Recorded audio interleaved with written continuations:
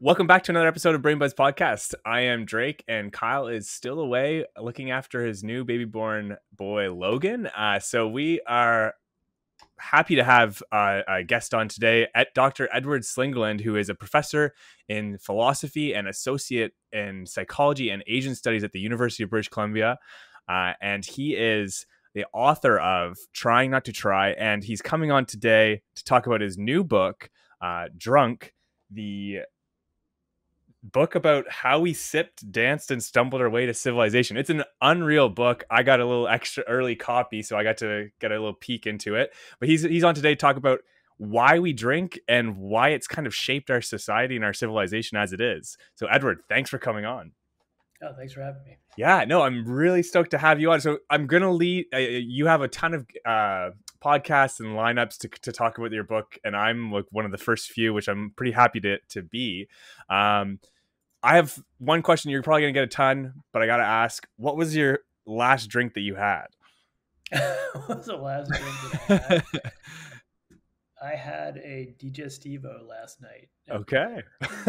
and what's your favorite? Italian, what's your Italian favorite drink of all time, Edward? Uh, you know, I'm, I'm really into wine. So, mm. um, I although I kind of go into hibernation mode when I'm back in Canada because it's impossible to get anything decent here. okay, um, so if you had like person, one, what's your favorite? Like, do you have a favorite bottle of wine that you'd like name drop? Um, yeah, there's not one. I like so many different types of wines, mm. but really like California, cool climate, coastal Chardonnays are what I'm into. Okay. Um, Amazing. So yeah. Like uh, Fogarty or Fort Ross. I have a place in California that's on the Sonoma Mendocino border, and there's some local wineries there that do amazing kind of okay. small quantities of that kind of wine. So this is an informed take on uh, on wine yeah. right here from an author that just wrote about yeah. it. yeah, that's amazing. So, what's your least favorite drink and why? Beer. Which is you know it's funny because I've been on uh, two psychologists for beers and I just I refuse to drink beers. I think I have a I actually think I have a I, I like the taste of beer. I think I may be allergic to hops or something because oh. when I I can drink like maybe a pint and then I just feel really full and I mm. never want to drink a beer again for like a month. So um, yeah, I'm not a big beer drinker. Okay, so we're at like complete opposites here. I'm a beer drinker, mm-hmm. trying to get into wine though. I'm not. I'm not allergic to wine, which is nice. I'm trying to get into it, so I'll take your recommendations and kind of run with that. Um, so, so Edward, we're we're on to talk about your book today. It's there's a lot in this book. It's talking about why we drink as, as like humans and why it's kind of developed us as who we are in our civilization there's a couple things I want to touch on before we jump into into the book and like some of those ideas. And there's there they seem simple on the on the surface, and a lot of people think they know what they mean. But I like to always define th- things before we get into you know anything too heavy. So what mm-hmm. what is legally drunk? Like what does that mean? What does it mean to be legally drunk? Yeah. It it depends on the purpose for which you're defining it and the jurisdiction right? So mm-hmm. usually, I think most jurisdictions, if we're talking about drunk driving, that's the typically when we want to define drunk It's are you drunk driving? Um, and most jurisdictions, it's 0.08 BAC, blood alcohol content. So that's about it's about two drinks for your average guy. Let's say. I mean, uh, guys are heavier; they can drink more. Um, maybe one and a half for a woman. But it really depends. There's so many variables. Depends on if you've eaten. Depends on um, how quickly you drink it depends on what type of alcohol it is. But yeah, so about point, 0.08, about when you start to feel pretty good, is when you shouldn't drive. yeah. It's also around when your creativity, all the best uh, features of alcohol kick in at about yeah. 0.08. Yeah. So. And so what's the difference between being legally drunk and intoxication? Like what's what is intoxication then? Is that the same thing? Yeah, intoxication is just a general term for uh, being impaired by some chemical substance. So okay. um, that's why I use intoxication in the book to refer more broadly to the book's called Drunk, mm. and I'm focusing primarily on alcohol just because alcohol is the king of intoxicants. It's the far and away the most popular. It's been we've been doing it forever. Um, it's the most important. But I also talk about other types of chemical intoxication. So, mm-hmm. um, mm-hmm. You know, cannabis, hallucinogens, um, kava, which is an intoxicant used in the Pacific. Um, so, intoxication is a broader term for any type of impairment with a chemical substance, cognitive okay. impairment. And then drunk would refer to just specifically doing it with ethanol, right? Properly, when we're talking about alcohol, it's the ethanol molecule. Right, right, of course. Okay, great. So those are all good definitions to carry forward for, throughout this because you use them throughout the book, and it's you know it's important that we know that we're not talking necessarily about legally being legally drunk here at a certain point that threshold that mm-hmm. we're talking about by law, but it's you know this intoxication or using of a substance to get into a different kind of mindset or as you said creative mindset that actually is something that you talk about in the book but um let's start off with why we get drunk in the first place. So what is this why do we drink as humans because that's such a it's such a um, it's just a it's it's omnipresent. It's always there like everybody's drinking no matter what. Like since yeah. a kid you just you're aware that adults did this. Uh, and now as adults we're just aware that all adults do it um, so, so why are we why do we drink what is the purpose of it yeah. So the, I mean, the shallow answer is because it makes us feel good, right? So the immediate proximate cause is that it makes us feel good. So mm. that's the psychological, if you want to think of proximate psychological mechanisms, that's it. It's pretty simple. Mm-hmm. Um, the more interesting question is why does that proximate psychological cause exist? So why do we get pleasure from this substance? Um, and or, or, you know if it's an accident why ha- hasn't it been selected against taking pleasure from drinking? Um, so the standard I, what motivated me to write the book is that the standard scientific story about this if you look at most psychological textbooks um, they're going to tell you they're going to give you some sort of evolutionary mistake story. And by far the most common is just a what i call in the book the hijack uh, hijacked hypothesis. So we have reward circuits in our brain that evolve to reward us for things that our genes want us to do. Um, and alcohol and other types of um, recreational drugs happen just happen to randomly be able to pick that lock. They're able to trigger that reward circuit. Um, we are very clever primates, and we figured this out. And we were like, awesome, we get this reward for doing nothing. Let's do that. Um, so that's the standard story. So if you on the hijack hypothesis, uh, our taste for intoxication is is very similar. So another classic hijack is is masturbation, right? Right. Or non-reproductive sex, where we're getting this uh, huge payoff, right? That evolution reserves like the best thing that could happen to a human being for the thing that most directly serves the gene's purposes, right? Yeah. Statistically speaking, getting copies into the next generation. Um, but then we figure out all different ways to game that system and get that payoff without doing the thing we're supposed to really be doing. Right. Um, so that's the the story is basically drinking is like masturbation. It's some, yeah. it's a way we trick evolution and get a reward for no reason. Um, there are some what I call evolutionary mismatch hypotheses bouncing around out there. Um, probably the most famous is uh, uh, Robert Dudley at Berkeley it's what he calls the drunken monkey, monkey hypothesis that um, we used uh, the smell of ethanol is a very volatile molecule. It travels long distances in the air. Um, and so he thinks that the smell of alcohol is basic, was a dinner gong for our ancestors. We smelled ethanol. We knew there was some rotting fruit somewhere that had you know, a lot of calorie content, vitamins, and it enabled us to find this fruit on the jungle floor when we were evolving. Um, right. And that's uh, it's a kind of he's been pushing this for a while. There's a lot of problems with it. One of which is that we we actually don't really like overripe fruit. Most species don't. We like ripe yeah. fruit, which has a low alcohol content. Mm-hmm. Um, there's various theories about well, it helped us preserve water or purify water. So if you take water that's contaminated and you turn it into beer, it gets it's you can drink it. Right. Um, problem with that is you can also just boil the water, which is a lot simpler and faster, and actually doesn't have any of the costs of turning it into beer. Yeah. Um, there's all kinds of theories about um, ennobling grain. So it's also true that turning grain into a beer creates the, the process of fermentation creates micronutrients that aren't in the grain if you made it into bread. And there's some theories that this is what allowed um, early agricultural people in like Mesopotamia to survive on what was a really boring diet. I mean, they were basically bread and water and beer. Um, but the, from the beer, they were getting the kind of micronutrients they weren't getting because they didn't have fresh vegetables and fruit. Um, but none of these really, none of them are very convincing. All of these supposed functions um, are actually served by other things much more efficiently. Um, but that's another type of. So on that story, our taste for alcohol is kind of like our taste for junk food. So again, you know, loving sugar and fat and protein and gobbling as much of it as you can when you find it was adaptive until really recently, until the invention of you know junk food.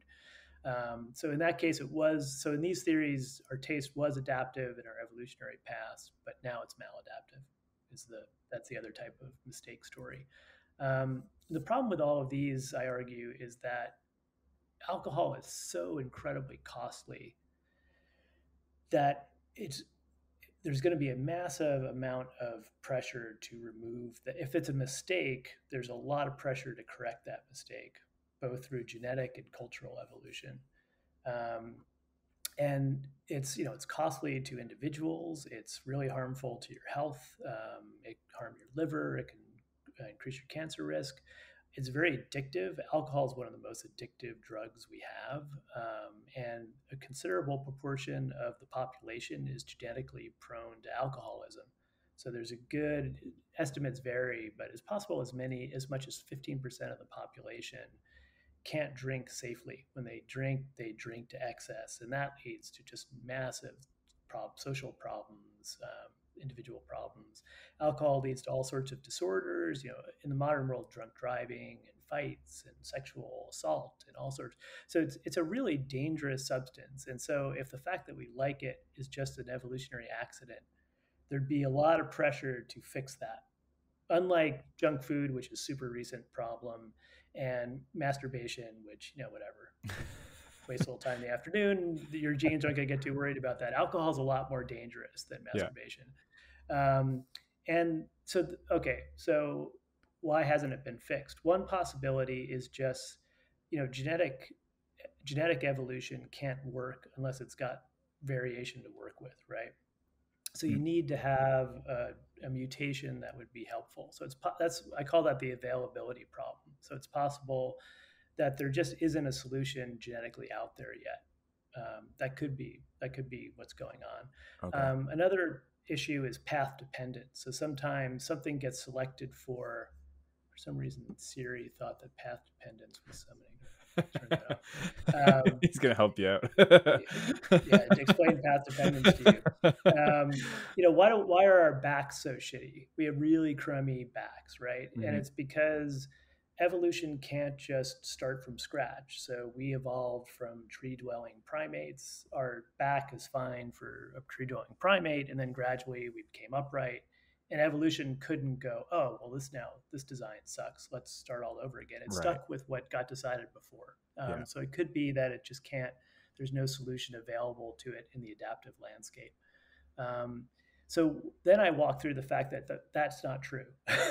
yeah. So um, there is a very good genetic solution to the problem of alcohol addiction or our taste for alcohol, and it's the this um, it's actually a, uh, two at least two mutations that go together, travel together, which is interesting because okay. they're not on the same chromosome. Um, huh. They tend to go together um, that evolved, as far as we know, for the first time about 7,000 years ago in Southeast Asia, probably around the time rice agriculture started.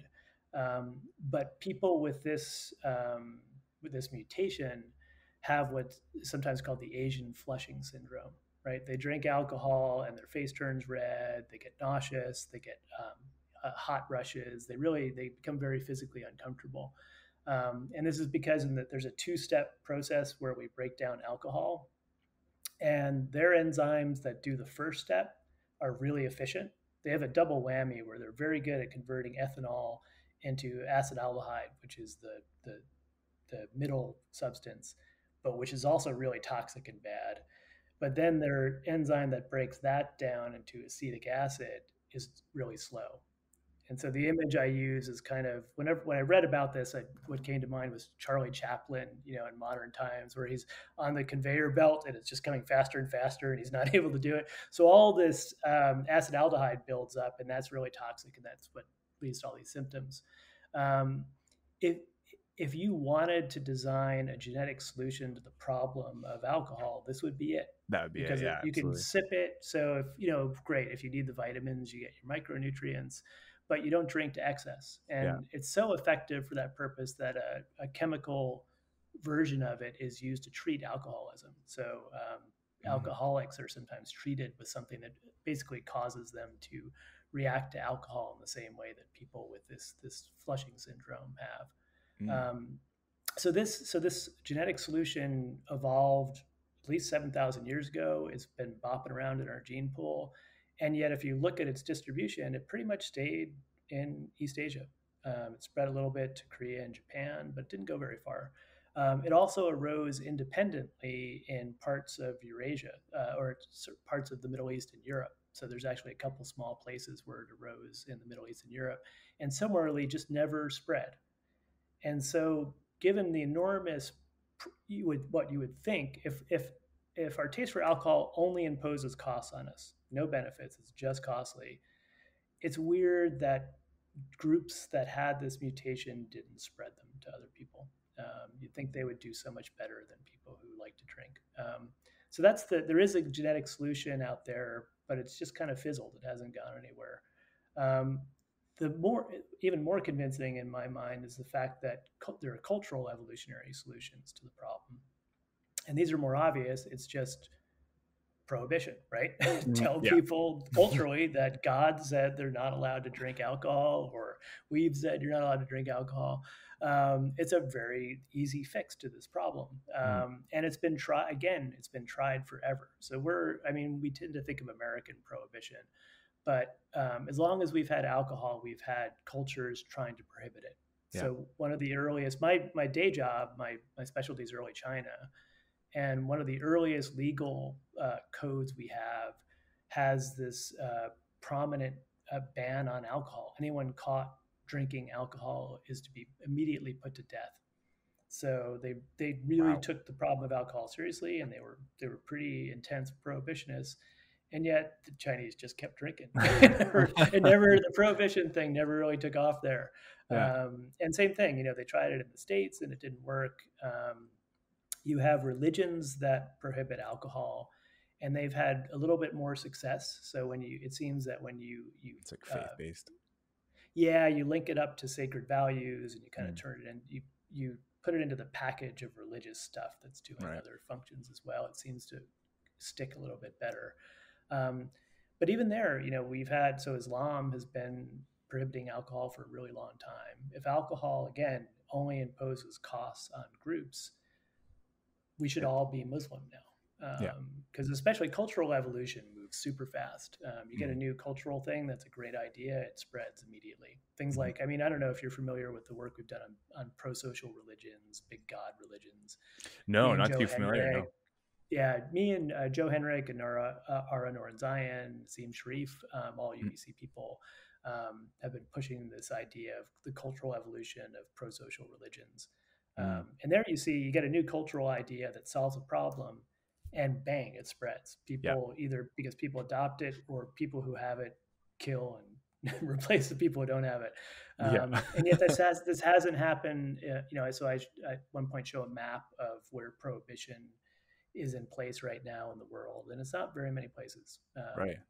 What what places are like Edward? What places are currently like very strict prohibitions if you can name like a few just to give an idea saudi arabia i mean they're they're muslim countries um, hmm. saudi arabia is pretty strict um, you know in parts of india so india's got a partial uh, mm. prohibition um, but it really is historically in islamic cultures it's really varied how much this was imposed um, yeah there were long periods in, in a lot of places where it was just wink drinking was winked at um, elites typically have always continued to drink. And in fact, some of our best wine poetry comes from Persia, you know, or mm. you know, technically it was a sin to be drinking, and yet they're writing these amazing, you know, poems about how wonderful wine is, and yeah. Um, so it's again, if it was if prohibition was such a great solution to this problem, you'd think also that prohibitionist cultures would be a little bit more consistent about it, but they're yeah. not. Yeah, not at all. so those so cultural genetic and cultural evolutionary solutions to the problem exist and yet they haven't taken off.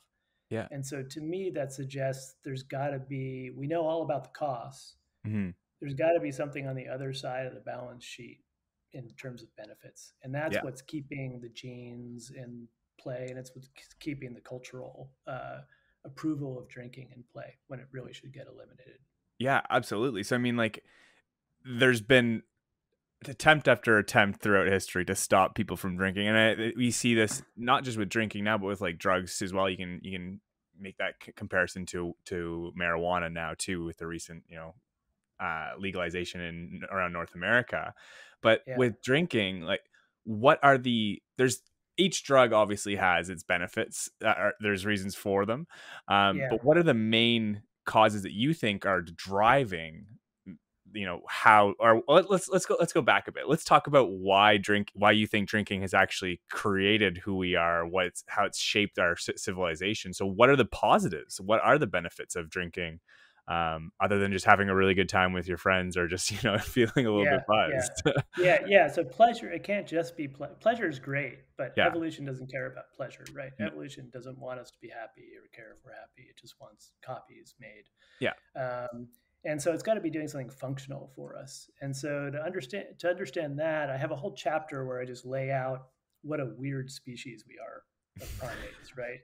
Um, if you look at us compared to chimpanzees, we're just really strange in a bunch of different dimensions. Um, so I talked about at one point what I call the three C's that were the creative, cultural, and communal primate. Um, so creative, um, unlike most species, were completely dependent on tool use. You know, cheetahs don't need they go catch gazelles gazelles can run they don't need tools. Chimpanzees use some tools in some situations but they get along fine without tools. Humans are useless without tools. We we need tools to do even really basic stuff. Um, you know we're so dependent on tool, basic tools like fire that we've biologically changed to adapt to them right our teeth have changed our digestive system has changed to adapt to eating cooked food we couldn't eat raw food now if we wanted to. So that's it's kind of amazing that we we come out helpless in a way without without culture and without the tools that cultures give us. Um, and so we're really dependent on creativity. Um, environments are changing, so our tools have to change. We're also competing with other groups who are trying to exploit the environment more efficiently than we exploit it. So we, you know, if they have better tools, we have to out invent them or borrow their tools. Um, and so we're, we really dependent on creativity, and and that is one place where alcohol helps. So um, I walk through the literature on um, first of all uh, development and creativity. So I look a little bit at Alison Gopnik's work. I don't know if you're familiar with um, her, especially her more recent stuff. Um, so she's got great experimental data showing that uh, young kids, so like four year olds, are great at lateral thinking creativity tasks. So tasks, the Blicket test, right, where you've got um, is it a Blicket and and the condition where it being a Blicket is something kind of that is, seems counterintuitive. Four year olds are do really great on it, and there's she has this graph where she's showing decline in performance over development. So four year olds are great, adults suck, and it's pretty mm-hmm. much a linear decline as yeah. you age. Um, so uh, what's going Edward, on? before you go on, yeah. do you want to explain what a blicket is for our, our listeners that have no clue what a blicket is? yeah, it's just, it's basically a you know it's a made up test yeah. of you know uh, she says we have this thing that detects when something's a blicket. If we put a blicket on it, it plays music and it lights mm. up. So tell us if this is a blicket. Yeah. And the intuitive thing is it should be one object.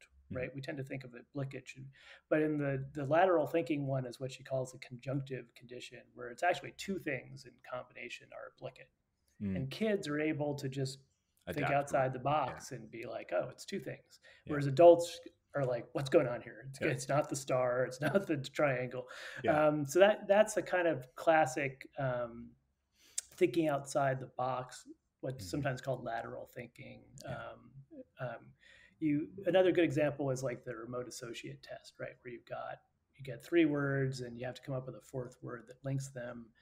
You can't solve these problems through just grinding through possibilities. You have mm-hmm. to kind of relax and see the answer right? Yeah. So that yeah. type of creativity is really important for humans. Mm-hmm. Um, we get worse at it as we age. Why is that?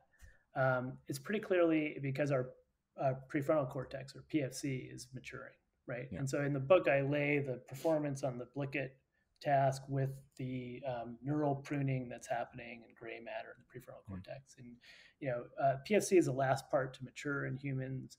And what you know, the short story is what it seems to be doing is giving us the ability to focus on a task, delay gratification, exert mm. cognitive control. These are all really useful things that we have to have as functional adults. Yeah. But the cost is it interferes with lateral thinking. And mm. so it's there's this tension. Um, evolution wants us to be creative, but it also wants us to be able to tie our shoes and get out of the house on time and go to work. Yeah. And it can't those are intention. And so it ends up think going, all right, we're going to go with the prefrontal cortex. we need yeah. people to be able to focus.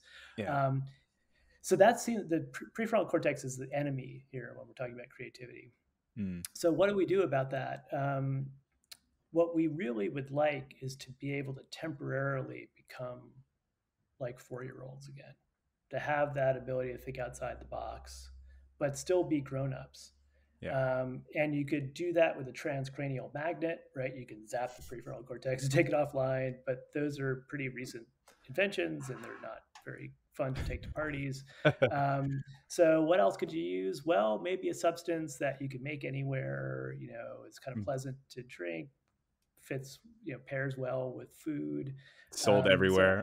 So sold everywhere. So that's what alcohol is this technology that humans have used to because one of the main alcohol the c- cognitive effects of alcohol are really complex it's been mm-hmm. called uh, stephen braun the uh, journalist has called it a pharmacological hand grenade because it's doing it's hitting all these different systems all at the yeah. same time or sometimes yeah. there's a delay it's really complicated what's going on um, but one of the things it's doing is depressing the functioning of the prefrontal cortex mm. so it's taking the pfc it's down regulating the pfc for a short period of time and so I'm arguing that that's a great cultural solution to this problem of how do we become child- childlike when it mm-hmm. comes to creativity while still being adults who know what questions are important and what we would do with that insight when we when the when the drug wears off.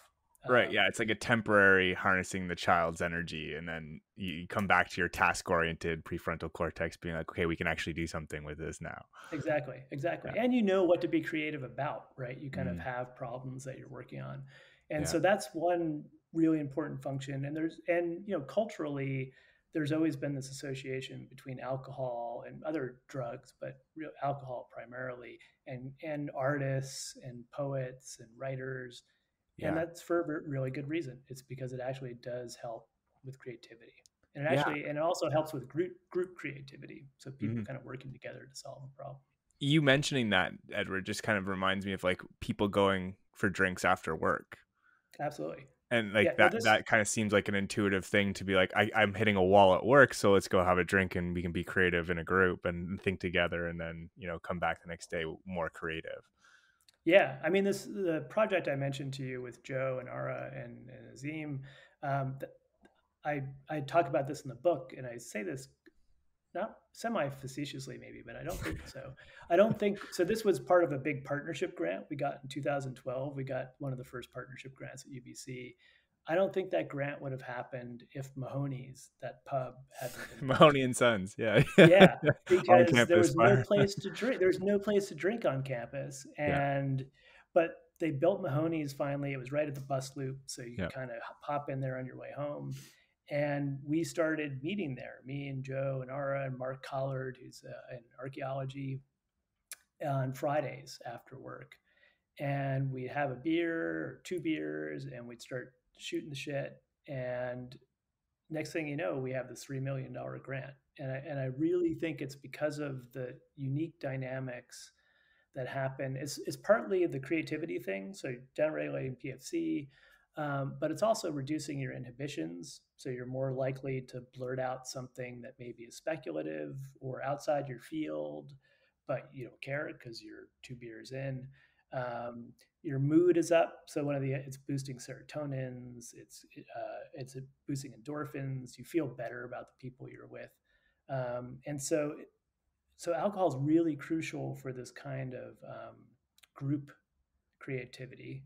And when I was talking about the first time I started talking about this was when I was on book tour for Trying Not to Try, and I was I mentioned this. There is one study on creativity and alcohol. It's um, 2012, so it's older.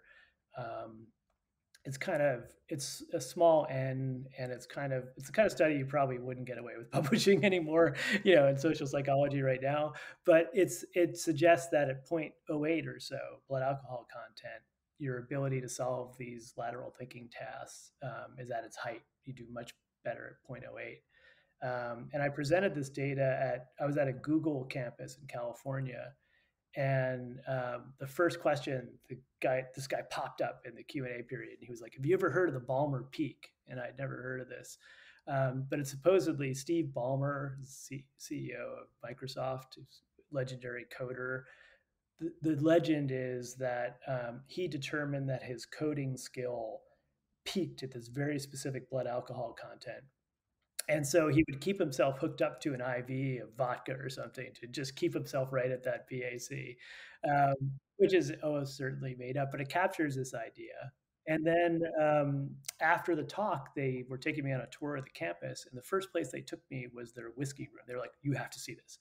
And they took me to this room that was just entire wall of single malt Scotch. It was the most amazing sight I've ever seen. Really rare, beautiful single malt scotches and um, bean bag chairs and a foosball table and places to chill out. And they said that you know when we're we're on a project and we run into a, a roadblock, we can't figure out what to do. Instead of banging against it sitting in front of our computers, we come here and we have we have a little bit of scotch. We sit on beanbag chairs, and often someone will say, "Yeah, what about this?" And our solution is there so, yeah. so it's clear that successful cultures and organizations are using alcohol yeah. as a tool in this way. Yeah, that's really it's really interesting. And that's kind of just like the epitome of what like Google kind of show. I, I feel like ten years ago that that kind of image of like beanbag chairs and people just hanging out was like yeah. the the creative like CEOs like uh you know brainchild, and it seems like it actually has a lot of legs to it and it actually makes sense that you know using that more creative space instead of banging your head against the wall or like staring at a screen for eight hours might not be the most optimal use of our time yeah yeah no i had an actual personal experience of this because when i was writing the proposal for this book i had written like 10 versions of it and my agent was every time she's this manhattanite very very tough to wring any kind of praise out of her. And she's happy to criticize things. So she was like, no, it's boring. It's not good yet. And, and she was right. She's good. She knows when something pops and when it doesn't. And I was thinking, what am I doing? I was banging my head against the wall. I'd written mm-hmm. 10 versions of this thing. Yeah. Um, and then I was like, holy shit, I haven't even, I haven't taken my own advice. I realized yeah. I hadn't written any of it drunk and so I was actually in New Zealand. So this was in this mythical time when we were traveling. you could travel the world, yeah. yeah, I was meeting colleagues in New Zealand, and I was I was meeting them for dinner, and I had about two hours before dinner. And so I went down to the hotel bar and I ordered a Negroni and sat there with my laptop and looked at this proposal and was just like, what is it missing? And then all of a sudden, the first paragraph of the book, the first paragraph of the introduction just came to, it was almost like I was taking dictation. It just wrote itself. Yeah. I was like, oh, this is what I need. And it was yeah. because I, uh, instead of tr- rewriting, rewriting, and I just kind of looked at it and took my PFC and went, eh, turned yeah. that down a little bit.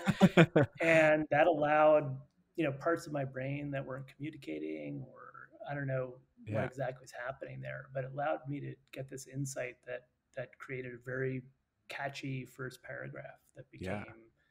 the beginning of the proposal and the beginning of the book. So and the beginning of the book is great. It's a good paragraph. yeah, it's a, it's a, good paragraph. It's totally due to 1.25 Negronis.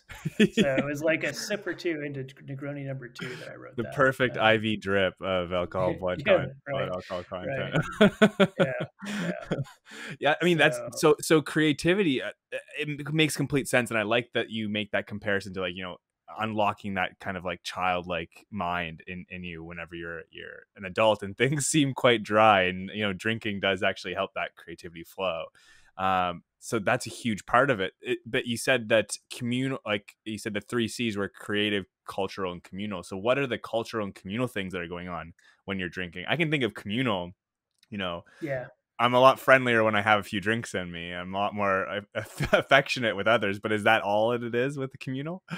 It's it's more than that. Um, yeah. Although that's part of it. So it's definitely that um, you're feeling better about yourself, mm-hmm. and you're feeling better about other people. Um, you you feel that you're more attractive. So people who are drunk rate themselves as more attractive than um, when they're sober, and at, then external uh, raters rate them. Um, but you actually, and then you also the beer goggle thing is real. You rate other yes. people as more attractive than you would um, if yeah. you were sober. Um, but I, so to talk about the communal thing, um, I think another crucial function of alcohol has been getting us around these cooperation dilemmas that we face, in, especially in large scale societies. We, we faced them in small scale societies too, but they become more acute in large scale societies.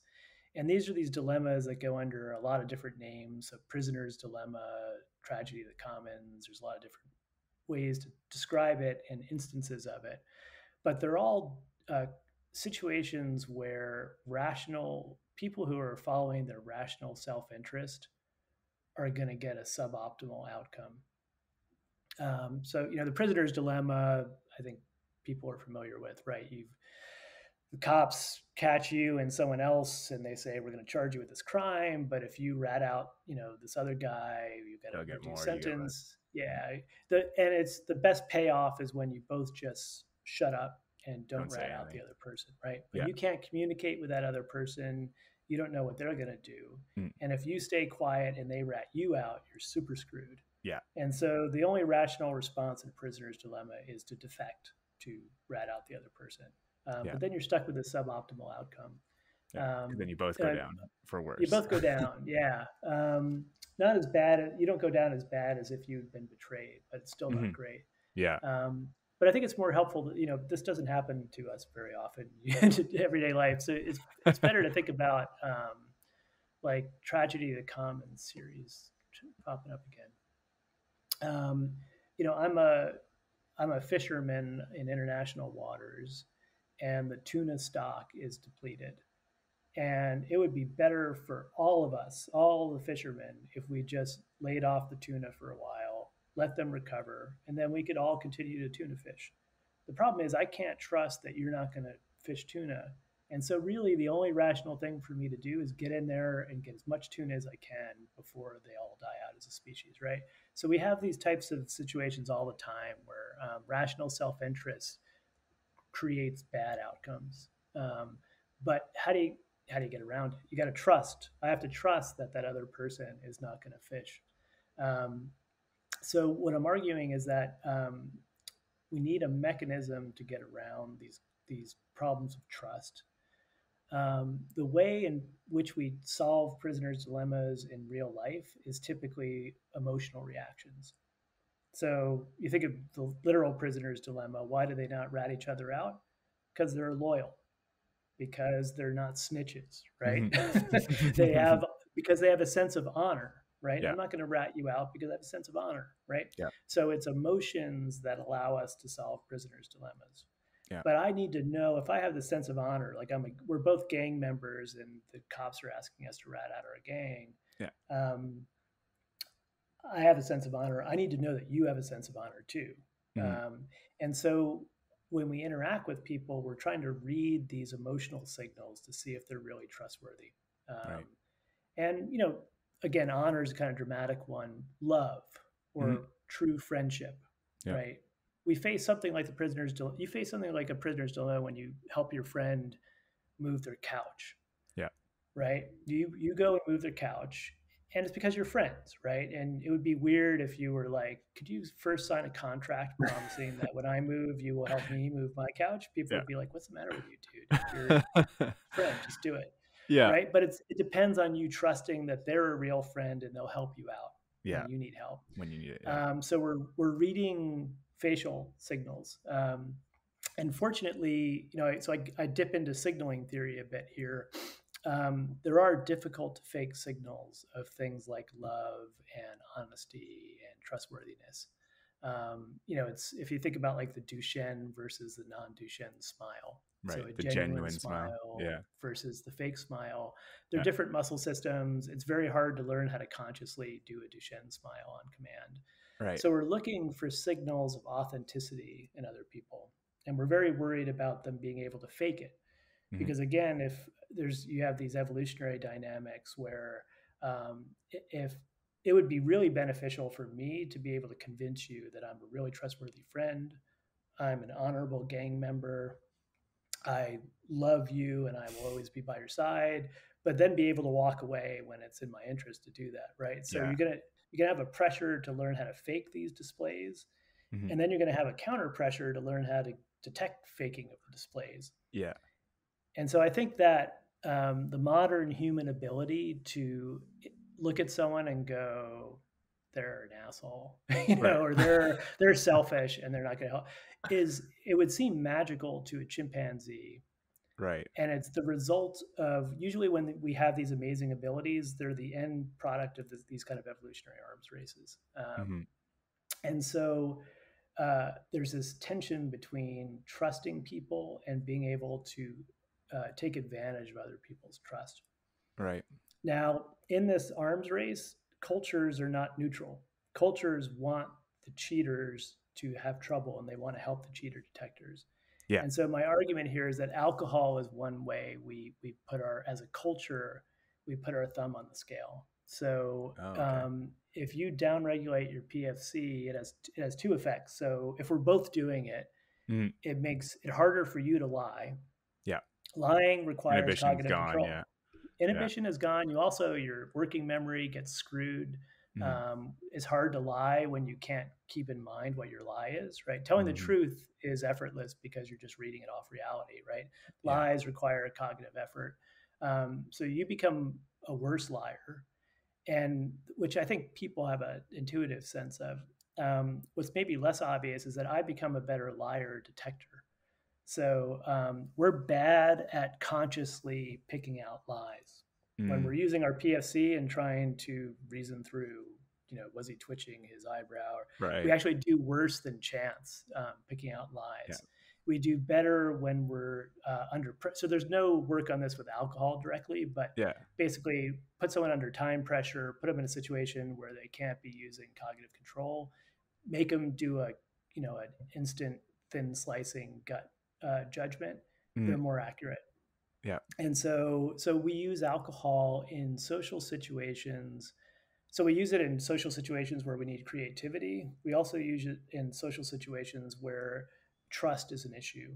Mm. And so that's why, you know, from ancient China to modern days, people who potentially hostile people who need to come to an agreement right get really wasted before they do it right they sit down together and they drink together right. and i'm arguing that it's in a way in the same way we shake hands to say you know i'm not holding a weapon in my dominant hand yeah if we sit down and i do shots of sorghum liquor with you i'm mm-hmm. basically taking my pfc out and putting it on the table and saying i'm cognitively disarmed you know yeah. whatever i'm saying now is true yeah. and so it's been used as a tool to um, help people get past cooperation dilemmas to trust each other more.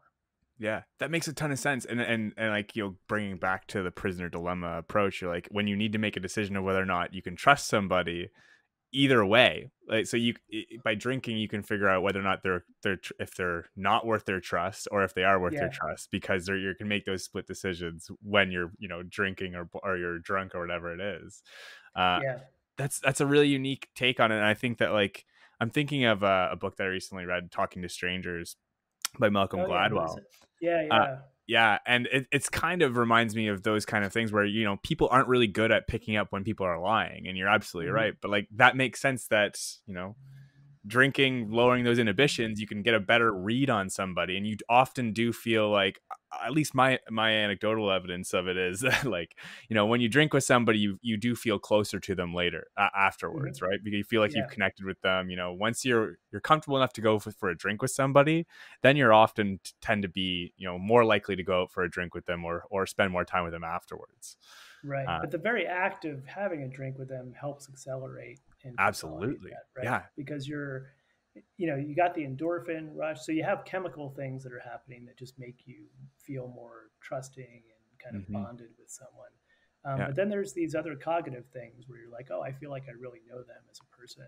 Um, yeah. and there's good reasons for that yeah, I mean, it's just shutting the PFC up, right? Like basically yeah. allowing you to talk freely and openly and genuinely. I guess I think that's it's an interesting. uh There's an interesting dichotomy within that too, right? Because a lot of people will read into when people are drunk. You know, drunk thoughts are often like honest thoughts. Is something yeah, that like you yeah. know people often no. think of, and like vino veritas, right? Yeah, yeah. Yeah, there's a reason that's been an ancient belief that you get truth Mm-hmm. Um, and Plato supposedly said, um, you know, only children and drunkards tell the truth. if you want the truth, you got to ask little kids or people who are drunk. And why? Because they both of them lack PFCs, right? Yeah. Um, yeah. Absolutely. So this is also why I think this explains a lot of things. Um, so one of them is that um, you know when things like Skype were invented, everyone's like, "Oh, well, business travel." Is going to just disappear because yeah. why would you fly to Shanghai and meet with somebody to sign a contract when you could just do it online? Um, and yet, until the pandemic, business travel remained unchanged. Uh, mm-hmm. video conferencing did very little for business travel. And it's for this reason. If you're going to sign a contract with someone for anything more complicated than just supplying paper clips, you know, anything yeah. where there's wiggle room, you want to go sit down with them and have a meal and have a mm-hmm. meal with alcohol yeah. um, before you are going to trust them. And that's people really want to get it in a room with other people and drink before they're going to do anything really important. Mm-hmm. And so um, this is where I think the pandemic has really screwed us in a lot of ways. You know, it's going to all these opportunities to have creative conversations together, to get to trust one another, to build bonds. Those are all really attenuated or completely lost when we don't have in-person drinking anymore. Yeah, I, I, think that's such an interesting take on it too, Edward. Like, I'm I'm curious as your thoughts too, as how this might develop later on, because I've been thinking the same thing. I think a lot of people have been thinking this way. Is you know, at a certain point, I feel like when things go back to normal, whatever that normal new normal will be, I was I've been thinking, what will clubs, what will bars look like? What will the you know the new uh under uh, you know the, the, the the people that are becoming of age that are able to drink at bars legally? What is, is it going to look different? because yeah. of what's happened the last two years like do you think that there'll be a difference in how we interact or do you think it'll just kind of go back and like you know a few months to a year we'll be back to our normal ways I think as soon as it's safe, we're going to go back to doing exactly yeah. what we always did because that's yeah. what we want to do, right? Mm-hmm. and we've been starved for this kind of. I mean, we've been doing it before it's safe, right? As soon as there's yeah. a slight relaxing, people are out. I mean, I live on David Lam Park, and so you know the first warm weather this spring, we were just when we were getting into the third wave, right? You go out on a sunny day, everyone's out there. Yeah, out on the beach with drinks. Drinking, yeah. yeah. um, so it's not going to change. We're going to go back, and for a good reason, because it's serving. I mean, it's pleasurable, but mm-hmm. it's also serving these important functions. So many more functions than like any. I imagine any of our viewers had anticipated before listening to this episode. It's it's a really unique take on how important drinking is beyond the you know the hedonistic approach that you had you mentioned early on right with like yeah. you know masturbation and sexual release and things like that I, I, definitely see that as a big reason why people think that like drinking is is pointless is because it's just it's hedonistic and that's all it is. Yeah. So the pro- and this has really important implications for workplaces and for academia. So you know we're both academics, yeah. um, and there's been especially in this kind of I think of it as a kind of new puritanical age we're in now. Um, you know, there's been a real push to make everything dry, right? Yeah. So, um, you know, work events should be dry. Um, conferences, you know, people should not be hanging out at hotel bars at conferences. Um, and there's really good reasons to be worried about all that, right? Yeah. Um, sexual harassment, sexual assault, just even making people feel uncomfortable is really bad. Mm-hmm. Um, but I think the problem is our reasoning about this in academia and in industry has been alcohol in the workplace. Here are all the costs. Yeah. Sexual harassment, sexual assault, drunk driving, you know, all these really bad things that could happen. Um, what are the benefits? Pleasure, right? Yeah. And if if it's going to be fun versus lawsuits, yeah, fun's always going to lose.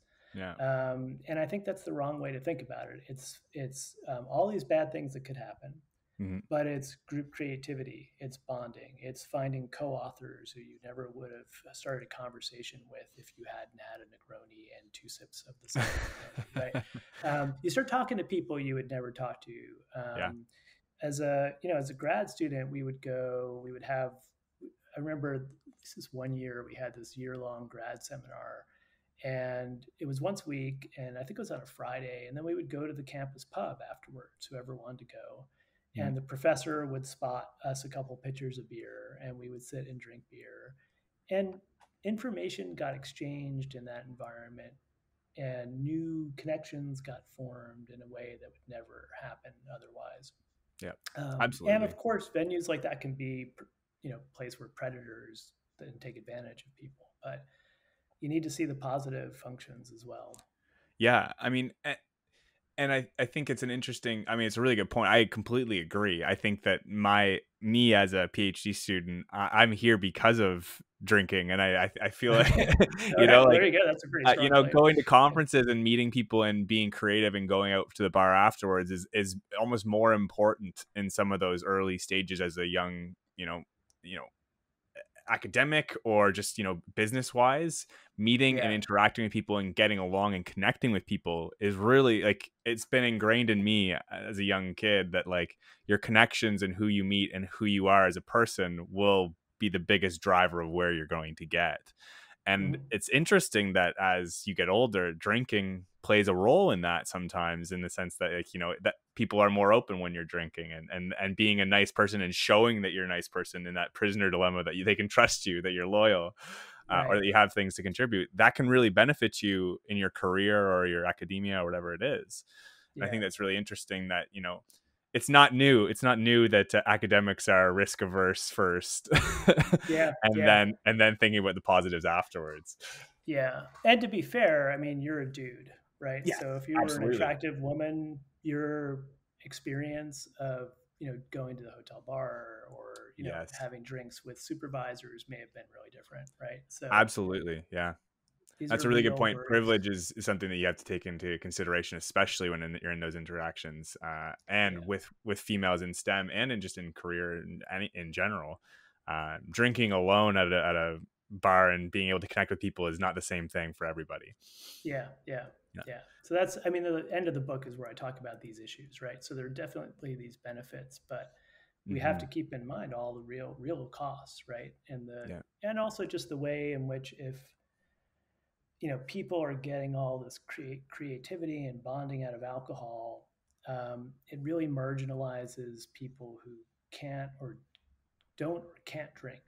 So people right. who are Muslim, people who are recovering alcoholics, people who are pregnant, people who need to get up early the next morning to take the kids to daycare, right? Yeah. There's a way in which structurally drinking favors unattached males in a yeah. way, um, and especially unattached white males, right? So kind mm-hmm. of uh, privileged men that should should concern us and really make us. We want to be able to preserve the benefits of that kind of communal drinking while fixing it in ways or putting in safeguards that make sure yeah. that you know to the extent possible you're not dis- people are not disadvantaged by this kind of the the negative flip side of all the hey we made a great new connection is this kind of cronyism and we become mm. buddies because we drink together and then yeah.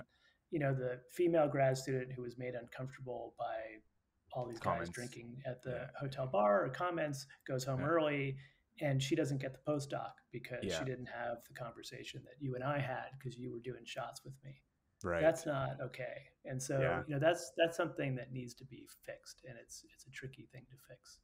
I'm sure it would be. Like I it's it's it'd be so tough to to deal with all those different boundaries and those things that are, you know, not visible at first sight, but huge barriers to entry. And, and I think that uh, an additional point that I think is really interesting is like you, you, know having time and being able to have a drink at night with yeah. other people is super important, right? Where people, you know, underprivileged people might not be able to, you know, have that time. They might have to look after their kids. They have to go pick their kids up from daycare, things like that, or, or they might not be able to afford daycare. Like these are so many things um, yeah. that are barriers to that, and it's uh, yeah, it's kind of it, it, almost gives you that like frat feel, like you're not you're not invited yeah. to the frat or the sorority, and you know you're losing all these connections because of that. Yeah, yeah. So that's the dark side of of alcohol based sociality. Is the way you know you don't get an in group without an out group. So you yeah. create this in group, and now people are excluded, and that right. if that's not done in a fair way, that's problematic. Yeah, yeah, I I, th- I think that's a really good point. I'm glad that you talked about that. I um, I have a couple questions just to kind of round out. I mean, we've talked a lot about. There's so much more in your book. Like uh, you, you use it.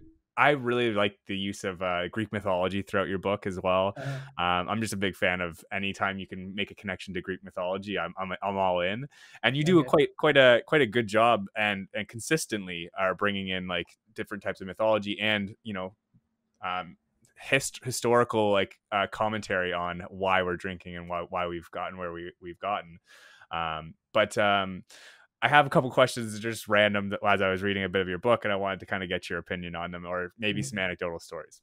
Yeah, sure. Um, what are some of the you, you talk about a bunch of different cases but what are some of the most intense or dedicated things that people have done throughout history to get high or drunk that you can think of there's no limit.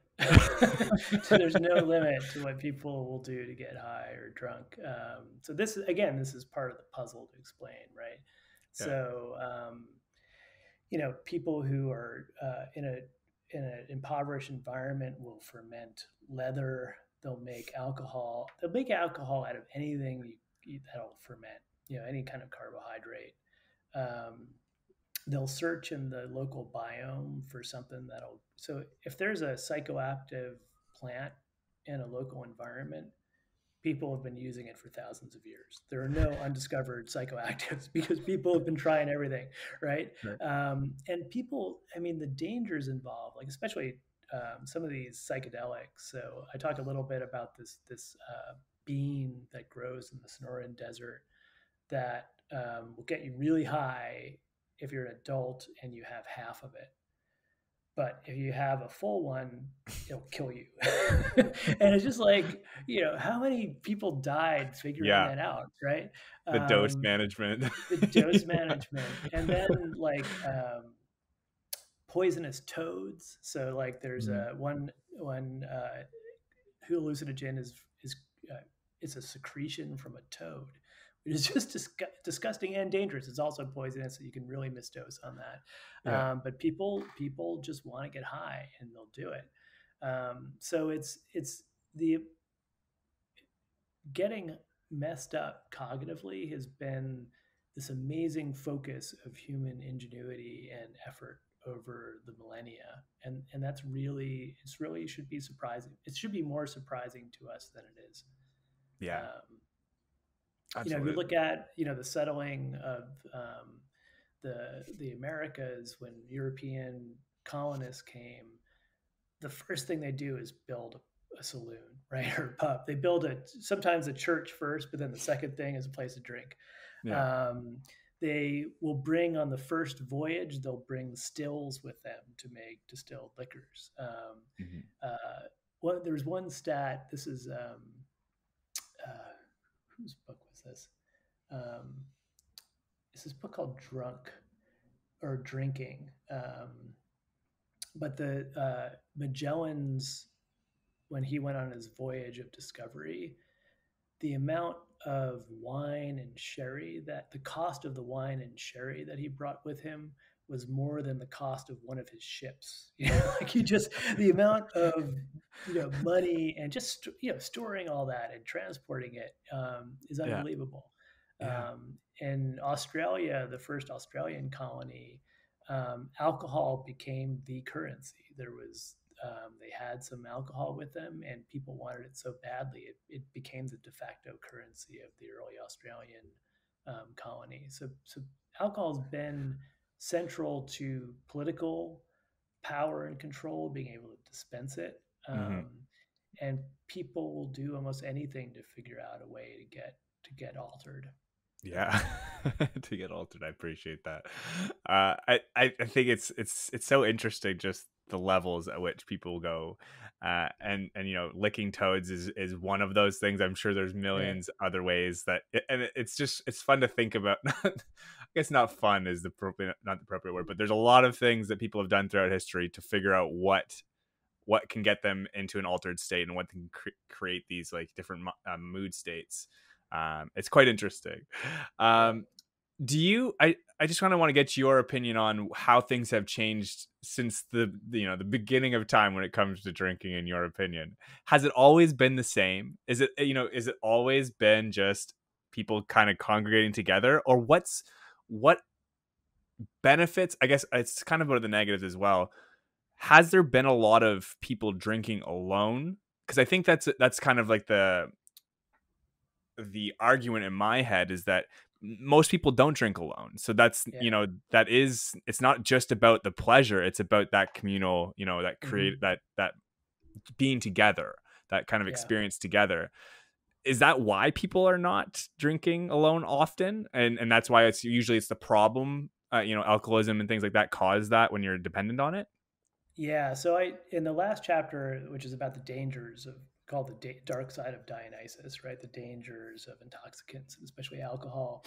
I talk about these two innovations of modernity that um, distillation and isolation that have been relatively recent developments, and they do change the kind of um, the ba- alcohol is always balancing on this razor between benefit and cost, right? It can be mm-hmm. very quickly get very dangerous. Um, these developments tip it more in the danger direction. Um, yeah. So first of all, distillation. Um, people don't realize how recent an invention distillation is. Um, so naturally fermented beverages have a ceiling on their um, alcohol content. So um, ABV, alcohol by volume, maxes out at about 11 or 12 percent. Um, okay. And that's because the yeast are producing alcohol they're resistant to alcohol, but only up to a point. So at a certain point, alcohol level gets too high, they shut down, and that's mm. as, as, far as you're going to get. Um, and so for almost all of our history with alcohol, there's been like this um, safety device. It's like a seatbelt, right? Um, you can only get something that's so strong. And in yeah. fact, you know, in most cultures, most cultures are drinking some type of what we'd probably call a beer you know, it's a fermented yeah. thing from grains, um, and they're typically typically coming in at about two three percent ABV, yeah. so quite weak. Um, and so it's hard to get um, it's hard to get dangerously drunk on something two three percent ABV. Yeah. Um, it's impossible to kill yourself. Like you can't get to passing out and having your um, lungs stop working. Um, just but, from the sheer volume that you have to consume. Yeah, you'd have to consume. Yeah. You just there's no way you could physically do it, right? Yeah. Um, and it just slows you down. If you're drinking a, a light beer, there's kind of a limit to how fast you're going to get drunk. Um, then humans figured out how to distill, like to get around the safety device, basically. And the the getting around thing is taking that weak beer or wine, um, heating it up. The ethanol comes up has is very volatile. It comes off first, and if you could figure out a way to capture it and then turn it into a liquid again, you've mm. got almost pure ethanol. Um, right, um, and that's what distilled liquors are. They're they're um, they allow you to get around this natural limit, and so you can get up to you know vodkas could be like ninety something percent ABV. Mm. Um, that's a whole. It's really a different drug. yeah. Um, it's so concentrated and can get you messed up so quickly that it really should be thought of as a different drug um, mm. than beers and wines. And so, so distilled liquors are a lot more dangerous. And all of the really big um, kind of pathologies of drinking that we've seen in history. So um, there was a gin craze in England um, in the 18th century, where uh, I mean, society was starting to break down from people getting having access to this cheap gin mm. um, and just getting completely wasted.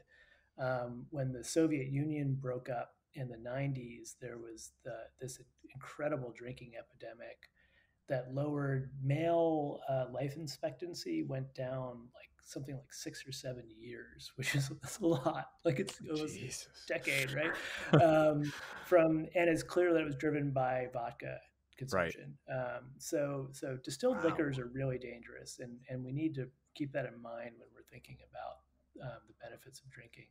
Yeah. Um, but the other thing is what you pointed out: isolation, and so especially now especially like, now, especially in the COVID time. I've actually just written something about COVID drinking. Yeah. Um, drinking, people's drinking has gotten a lot more unhealthy in the pandemic because it's it's an extreme version of what was already happening, which is that we have access to alcohol in a in a private way. So and it's essential. and it's, it's essential. And it's you know, that's I talk about that in the book. That, but you you would agree with it that it is essential, though, right? yeah, is. absolutely you know, the, you know, the early debates about what was essential was like golf courses. Everyone's like liquor stores are essential, right? Yeah, um, yeah. There was no there was no debate on that though. It was no so debate. it was so and it's I, I I know that probably brought a smile to your face it whenever did, you read. Yeah. yeah, was like, it was just it was non-negotiable that you needed liquor.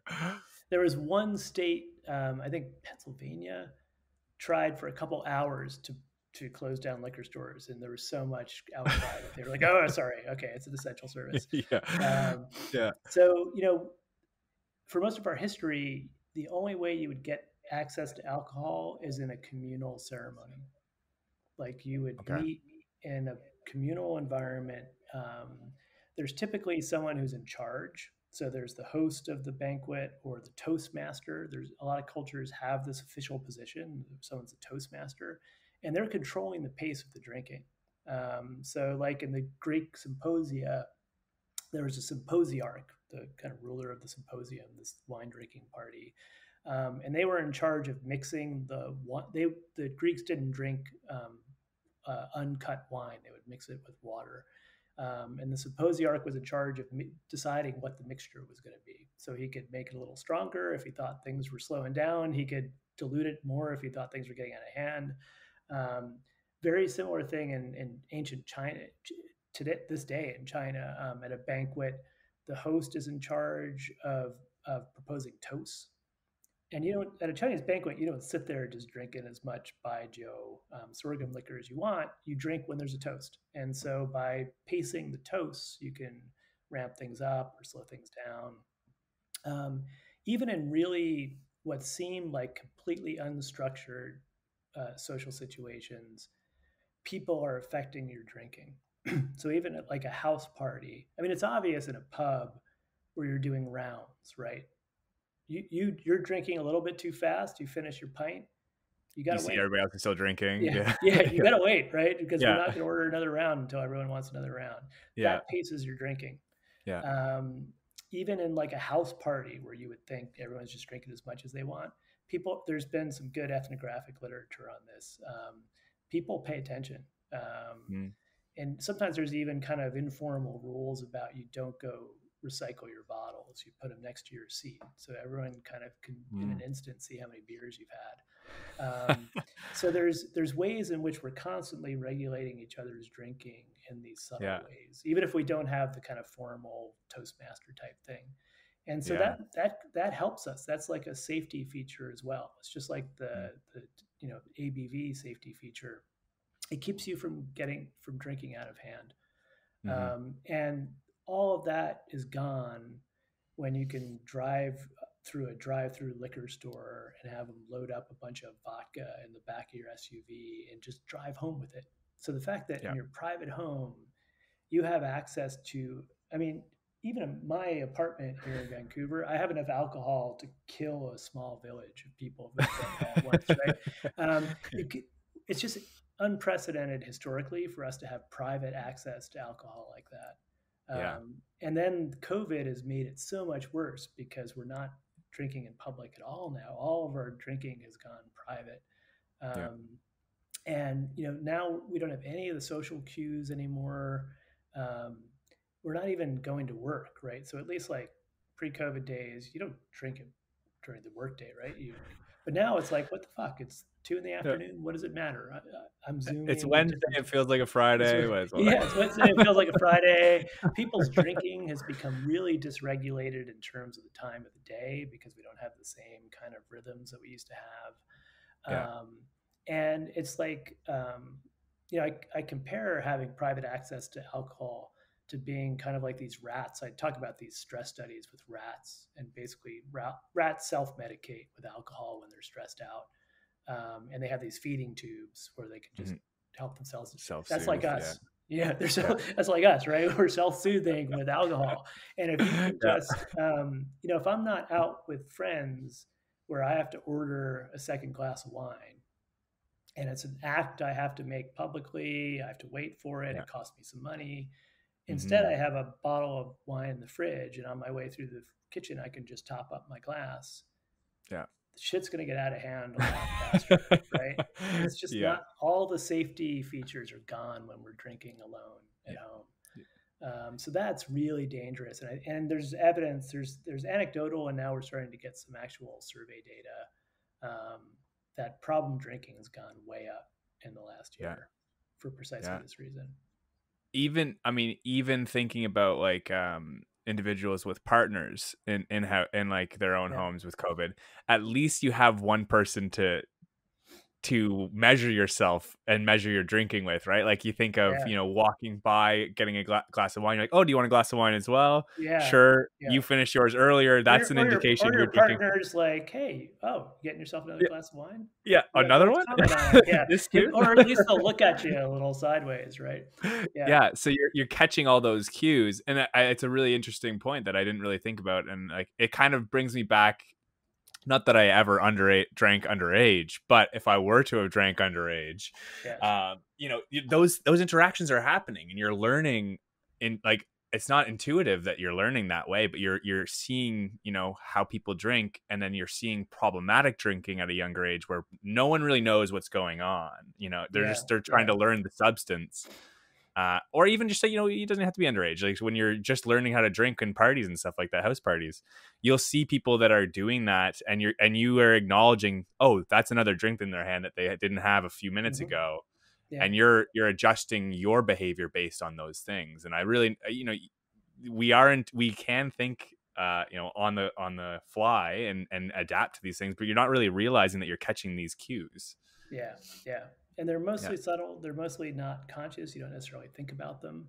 Um, mm-hmm. Even like if your partner just gives you a little kind of sideways glance when you're pouring that glass of wine, they may not say yeah. anything. You may not even consciously notice it, right? But yeah. it may kind of make you pause before you go back and do it again right? They may they may not even do anything. You might be looking for a response yeah, knowing right. yeah, yeah, that you're going already right? So we've, yeah. we've lost all of that um, yeah and it's i've noticed it because i've been i've had a weird pandemic because my partner's in the states on the east coast mm. of the us and yeah. I, oh. we were separated by a closed international border um, what a nightmare. and so every time i go to see her i come back and i have to quarantine i've done seven quarantines. so I have spent 14 weeks alone in my apartment. Um, Mind numbing. With the ability to order alcohol. yeah. Right. They, they deliver now. They deliver. They deliver. They deliver. it could just it's just brought to my house. Right. Um, yeah. And I, I noticed it's my drinking definitely. My drinking habits got worse. Um, yeah. Being cooped up, not even able to go outside for mm-hmm. you know, mm-hmm. two weeks at a time. Um, yeah. It's just not healthy. So this is kind of an extreme version of a trend that was already part of modern life. Um, yeah. People drinking has moved more into the home, mm-hmm. the private home, yeah. and that's not, not entirely healthy. Yeah, it's it kind of magnified a problem that was existing not as it wasn't as prevalent maybe, but now you know because of the circumstances, there's more people doing engaging in it. Yeah. I think um, one thing that I find interesting is to kind of retrospectively think about how I've been drinking in in COVID, in Zoom calls and and video calls while drinking with friends is something that's become a reality yeah, now. Yeah, Zoom cocktail hours. Yeah. Yeah. and like it's not scratching the itch if it makes sense. Like I mean, it's no, not doing what what it usually does. Right? hours suck. Yeah, no one's gonna do those once we're out of lockdown. Right? that is something that I don't yeah, think any yeah. company should invest any money in or time in because I just think it does it does not make sense. And so, why do you think that? That it's something that I've always been curious about, just like with our communication, the way that the world's kind of going, with the way that we communicate online and electronically why is it so important that we're in person and yeah. not having you know what's what's the difference between having a virtual reality setup and having somebody physically there with you you know yeah um, so i mean I, i'm not a dualist so i think that if you could have a virtual reality setup that was perfect yeah it wouldn't make any difference right you'd have yeah. everything you need yeah um, but what's missing it's just massive amounts of data are being lost, right? Um, yeah. I'm missing a lot of the details of your body language. Um, we're not drinking the same stuff, right? So, mm-hmm. you know, I'm over here mixing a cocktail by myself and you're getting yourself a beer. Um, you're not, walking into the kitchen with them, like going and like, yeah. you know, carrying the call when they're going to get their drinks and things like that yeah, you're not um, listening to the same music because typically, you know, you're you're listening to the same music. Your mood's being regulated by the music without you even noticing it. Um, you're missing smells. I mean, I think you know we're not like dogs, but we do use smells in socialization. All that's gone. Um, it's just not. There's a kind of um, collective effervescence, to use Durkheim's phrase, um, that happens in person when you're drinking together that Zoom just kills. Um, it's also even even like really small time delays fuck yes. everything up, right? Oh, so timing of conversations. Um, yeah. p- people talk over each other a lot more because you're lacking the normal signals you would have of oh, it's my time to talk. Yeah. Um, and there's no better way to kill any kind of sense of solidarity than timing problems right? Feeling mm-hmm. like you're not getting me or we're not syncing in the right way. Yeah. So, oh my goodness. I'm shuddering at the thought of like older older times when skype was like laggy beyond yeah, like two seconds. Yeah, yeah, yeah, it's horrible right? Yeah. but even this even you know we're talking right now this is a pretty good connection yeah. but it's not it's not great right no. and we we we are talking over each other every once in a while in a way we yeah. wouldn't if we were in person absolutely um, and that's just because video you know video is very data poor um, yeah. compared to in-person socializing Absolutely. I, I look forward to, you know, having in-person interviews as a, a podcaster is just, it's such a different experience yeah. and so much more yeah. enjoyable.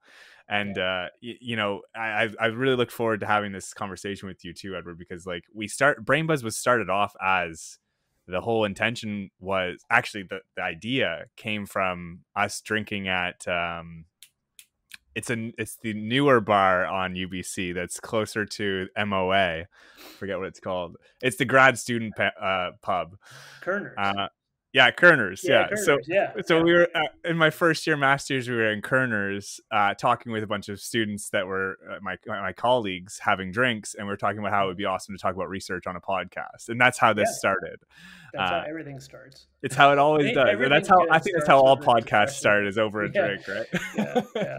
Uh, and and we and we did. We developed it off of that. We're like, yeah, you know what? Actually, it would be a great idea. And you, you know, the PFC shut off for a bit, and then we mm-hmm. we turned it back online, and we we actually got it going. And I think um, the brain buzz was off of the idea that we'd have drinks with our our, our guests whenever yeah, we had them in person. So we haven't had to be able to do that for so long, and yeah. it's you know it's it's unfortunate. Obviously, we still have great guests and have great time, but like I would have loved to have a drink with you, sit down with you, and and yeah. and do that. And hopefully in the future we can do that sometime. Uh, and I see the value in it much more clearly now after having this this talk with you. Yeah, great. Yeah, that is awesome. Um, thanks so much, Edward. I really do appreciate you coming on. Um, is there anything else that I don't? Th- we've talked so much about it. I mean, let's let's talk about your book. I'll give you a I'll give you a chance to to push uh, some public publicity for your book. It's a great book. I've I've read it. I'm the only one that gets the option to read it right now. Uh, but it comes out June 1st, 2021. Is that correct? Yeah. Yeah. It's out soon. Yep. Okay, amazing. I'll let you. Here's your here's your chance. Uh, do do your publicity spiel because I know you have much more trained than I do. no, I, I, don't really have a spiel. I mean, no. Uh, book, I mean the the title I think explains it pretty well, right? Yeah. Um, yeah.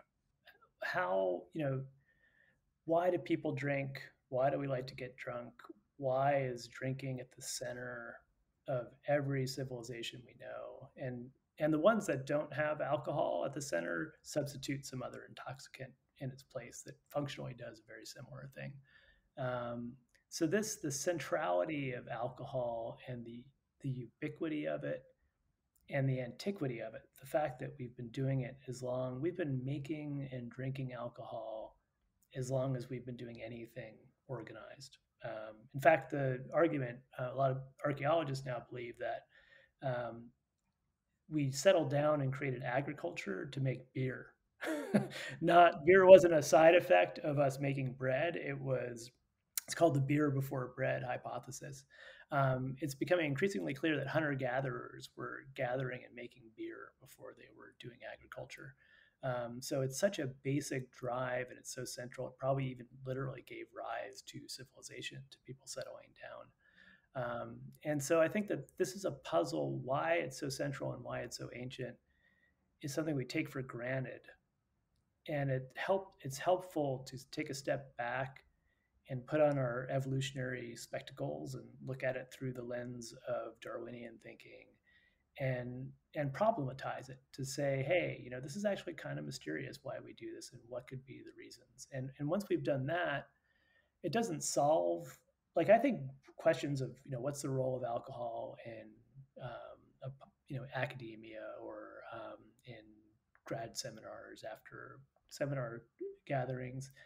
There's no clear answer, but we can't come up with a good answer unless we know all the costs and benefits until we really have a good scientific understanding of why humans drink in the first place. So that's all I'm trying to do is is give us reveal this mystery that's hiding in plain sight that we don't even question. Um, and once we see that it's a mystery, we can start to understand its evolutionary dynamics a little bit better. And that helps us make better decisions as both individuals and societies. Yeah absolutely and it's again it's a it's a really fun book to read which is you know it's nice to have guests on that write fun things to read because we're usually yeah. just having researchers on talking about the research through a journal article yeah. uh, but this you know it's it is a really enjoyable read for anybody that's i mean doesn't matter if you're interested in science at all it's just it's just a, a really enjoyable read um, so again that's drunk how we sipped danced and stumbled our way to civilization by edward slingerland such a good book, and it comes out June 1st, accessible pretty much everywhere. I imagine you can probably grab it anywhere you get books. Um, and uh, and that comes out really soon. So we're gonna be releasing this close to that time, so people will be ready to grab it within the week, I imagine. Um, but uh, thanks again, Edward. This was so much fun, uh, and uh, yeah and uh, i appreciate it. Is there if there's anything that you anything you want to plug other than that or is there any way that you want if people want to connect with you is there anything that they can do to to, to find you? Yeah i've got a new web i have a new website now so it's just edward slingerland all one word dot com. Um, awesome. so that's got all my information about all my trade books academic books um, my academic work journal articles and stuff like that so great, yeah, no, and if and if we publish this before uh, it comes out, they can always check out your previous book, "Trying Not to Try," which came out in 2014, right? So yep. that's accessible anywhere. You can get that, and you know, just warm up for for yeah, drunk on yeah, June 1st. yeah, yeah, definitely. All right. Awesome. Well, thanks, thanks, so much, Edward. This is this is so much fun. I think I really appreciate you coming. Yep. Thanks.